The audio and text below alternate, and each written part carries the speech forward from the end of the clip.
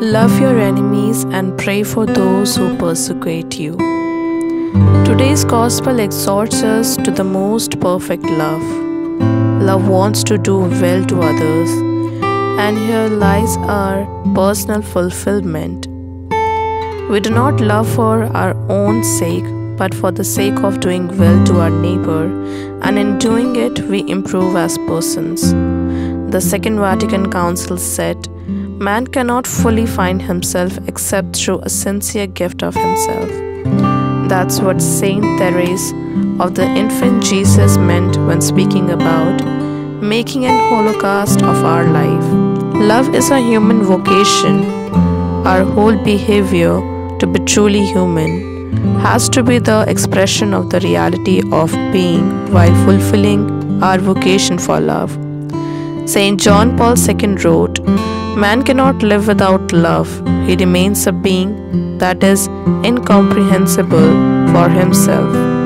His life is senseless if love is not revealed to him. If he does not experience it and make it his own.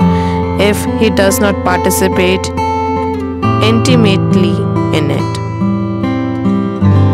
Love has its foundation and reaches its highest form in God's love in Christ. We are invited to a dialogue with God. We exist for the love of God who created us and for the love of God who keeps us.